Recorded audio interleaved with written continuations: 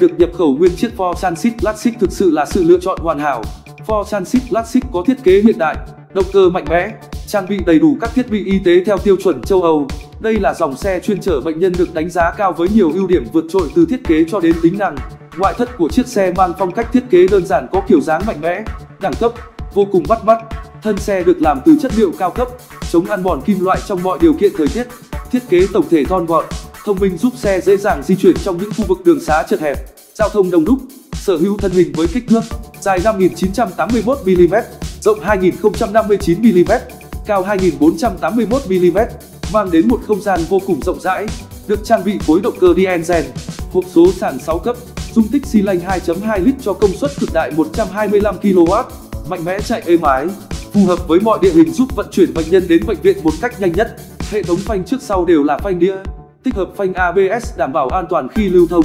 Cụm đèn xe được thiết kế trước và sau giúp người lái dễ dàng quan sát các vật cản, không gây lóa mắt, hạn chế tối đa các rủi ro tai nạn.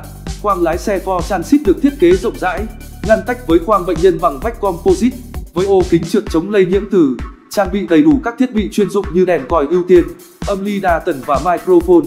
Ghế lái chỉnh điện tích hợp camera lùi với màn hình hiển thị, điều khác biệt tạo nên đẳng cấp của chiếc xe cứu thương Ford Transit Classic không chỉ dừng lại ở thiết kế, mà còn bởi những thiết bị y tế được trang bị theo tiêu chuẩn EN1789 châu Âu. Túi cấp cứu cao cấp với đầy đủ 34 chi tiết, hỗ trợ tối đa cho công tác sơ cứu, cấp cứu bệnh nhân tại chỗ. Cáng cứu thương thiết kế với chất liệu nhôm, mang đặc tính cứng và nhẹ, trọng tải lên đến 250 kg. Đặc biệt được trang bị thêm hệ thống tấm trượt, độ nghiêng phù hợp, có tích hợp thêm bánh xe và tay cầm có thể gập lại. Cáng phụ được làm từ nhôm cứng và nhẹ, trọng lượng tối đa đến 160 kg, có thể gấp vào tiện dụng khi không dùng đến.